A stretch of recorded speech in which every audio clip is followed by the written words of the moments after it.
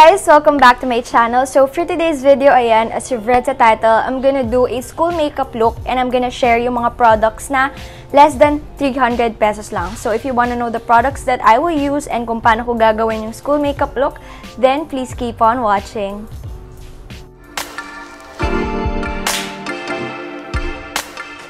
So, ayan, dito muna tayo sa sala namin. Hindi na ako nag-set up dun sa kwarto ko. Kasi after nito, ayun, may lakad din kami. Kaya dito na lang para tuloy-tuloy na. Hopefully, maliwanag na naman din siya and all. Okay, let's proceed na sa aking base. Ayan, kung mag gusto niyo mag-primer, I'm gonna suggest yung Quick Effects na mattifier primer nila ba yun? Yung yellow.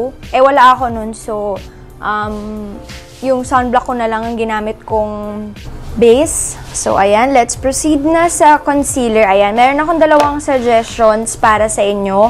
Pwedeng itong Conceal Fashion 21. Ayan. If magfo-focus siya, hindi ko alam. Ayan. Lahat ng prices ng mga to, ililive ko na lang sa description box para ma-check nyo sila. But ang gagamitin ko today is this one from Nichido HD Serum Gel Concealer for Eyes and Face in the shade Honey Butter. Ito yung itsura niya. Okay, ito yung gagamitin natin. Kasi ito yung pinaka nagpamahal lang sa lahat ng products na gagamitin ko today. And kasi may serum gel na daw siya, so parang may treatment na siya for your under eye, kaya ito yung pipiliin ko. And in fairness, tong concealer na to, parang second, third time ko na tong itatry ngayon. Dito lang naman para makover lang yung, alam niyo na, yung mga discoloration, yung aking pinagpuyata na eye bags, pati dito na din kung gusto nyo, konti sa forehead, ganyan lang. Para super fresh, di ba? Tapos fingers na lang, para ma-maximize natin kung ano man yung coverage na pwedeng mabigay ng concealer. Uh, okay yung coverage ng concealer na to.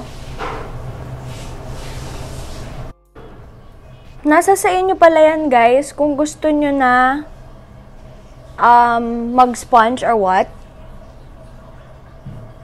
Pero kasi pag nag-sponge pa ako, baka masipsip niya pa yung um, coverage na pwede sanang mabigay ng concealer. Hmm, diba? Hindi ko alam parang maputi ba yung shade. Be-blend ko na ng ganyan. Okay, feeling ko tuloy baka mamaya sobrang puti pala tingnan ng concealer. So, kung may shade darker pa dito, baka yun na sana yung kinuha ko. But, ayan, okay naman din siya. Okay, next na gagamitin ko is, of course, sa cheeks na. Uh, tint lang siya kasi, of course, alam naman natin na mas long-lasting yung mga cheek tint, yung mga cheek paint, and all that. And I'm gonna use this one from Allen Cosmetics. Ayan, super duper affordable nito. And I did a review on this one and kapag hindi niyo pa napapanood yun, ililib ko na lang siya sa i button. Dito ba yon O dito? Feeling ko dito yun eh. O dito. Basta, panoorin nyo na lang. Okay. This one is in the shade Sangria. So, lalagay ko lang siya sa aking cheeks. And super blendable nito. Ito yung gusto ko sa kanya. Lalo kapag naging oily ka, parang mas na-mix siya sa iyong facial oils, mas nagmumukhang natural siya tingnan. Okay, ang pula. Pula ba dyan? Bakit in real life hindi naman? Okay, okay naman siya in real life. Ayan. Next naman na gagamitin ko is, of course, to set everything.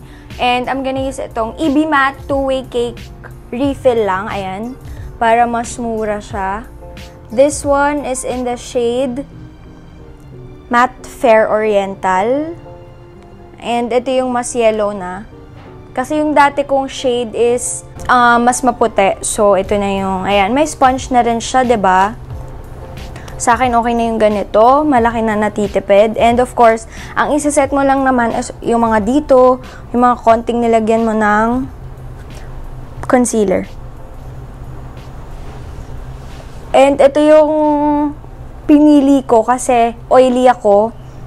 And nakakatulong naman tong powder ng EB, itong EB matte, to control yung aking oily face. Yan, very simple na pagsiset lang para hindi masyadong pumuti yung face and hindi mo na kailangan, kailanganin ng contour.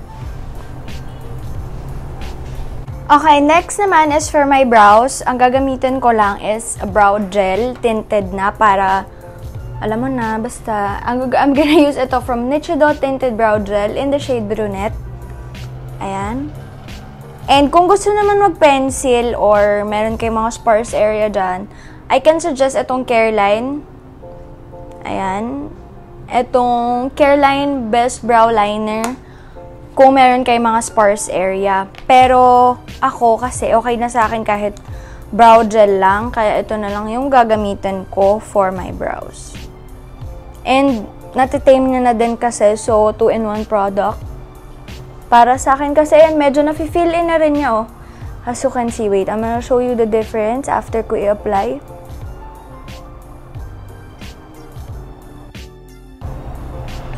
Tapos, super bilis pa nitong makeup look na to, kaya, ayun, akala mo pinaghirapan mo, pero, oh, ba diba? Ayan yung difference. Ito yung wala, ito yung meron. Kaya gusto ko rin tong product na to ng Nichido kasi nakakatipid.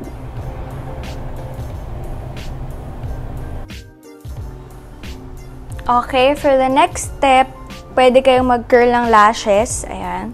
Para mas buhay tingnan yung lashes nyo. Ito yung mga favorite na ginagawa ko everyday. Kahit di na ako magmascara, basta naka-curl lang yung lashes ko. It makes a very huge difference talaga sa pinaka-look mo. Pero kayo, kung gusto nyo pa magmascara, I can suggest this one. Ayan, palagi naman natin itong naririnig. Itong Hyper Curl Volume Express from Maybelline.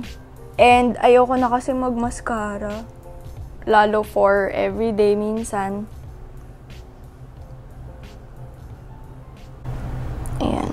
Mm, diba? Okay, ang bilis. Last na to. Grabe. Okay, for my last step, um, lips na tayo. Um, masasuggest ko din is this one from EB Advance. Kung gusto nyo tong um, Allen Cosmetics for your lips, okay lang din naman. Kaso kasi nagamit ko na to for my cheeks. Na as in, yung mismo roller idadirect ko dito.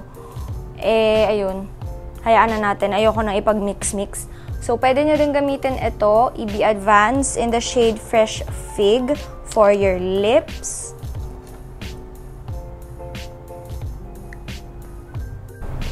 Mm-hmm. Grabe naman dun sa camera ko. Ang kapal ko agad. Ang pula agad. Hala, hindi man ganyan in real life. Ba't ganun? Grabe naman yun. Okay, kuha na lang akong tissue. Di man ganyan in real life eh. Okay, last step after this one, gusto ko nilalagyan ng tinted lip balm. And yung madalas na ginagamit ko ngayon is this one from V Cortez, yung kanyang V-line. Um, this one is in the shade Valiant. And ipapatong ko lang siya ng konti dito sa lip tint. Ganyan lang. Para lang mas maging solid yung color tingnan. Na ganyan ko lang.